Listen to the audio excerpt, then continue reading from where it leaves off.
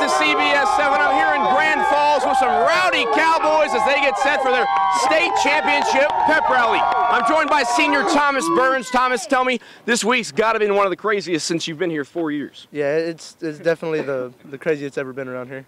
Definitely so, and the pep rally is set for 6 o'clock. Guys, tell me how excited you are just to see the community come together. It's excited, you know, Monarchs coming down, support us, everybody, so we're going to do it for them, do it for Grandfalls, so we're going to get it done. All right, y'all ready to go on Saturday?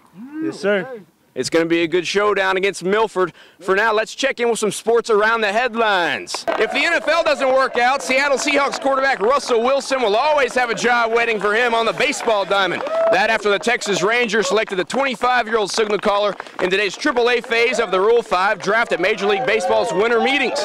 Wilson was drafted in 2010 by the Rockies, but chose to head back to the gridiron. Wilson said today that he was honored by the pick and wants to join the Rangers at training camp. After the Dallas Cowboys finished 14th in total defense last year under Rob Ryan.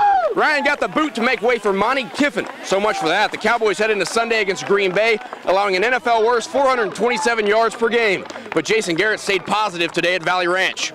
Oh, I think there are a lot of things we can count on. We're going to make the necessary corrections coming out of that game from the other night and uh, and get better and prepare as best we can for this ball game against Green Bay and stay focused on the task at hand. The Texans season is a lost cause, but Houston running back Ben Tate continues to give 100%. Tate will be back on the field Sunday against the Colts, playing through four broken ribs. Tate said this all to let teams know how tough he is. Well, Grandfalls-Royalty is tough. We've seen that throughout what's been a remarkable season for the Cowboys, and it's earned them a top spot in the finale. For now, though, it's time to celebrate in the pep rally. We'll have an inside look tonight at 10. But first, there's more coming up on CBS 7 News at 6. In Grandfalls, Marshall Hughes, CBS 7 Sports. Stay with us.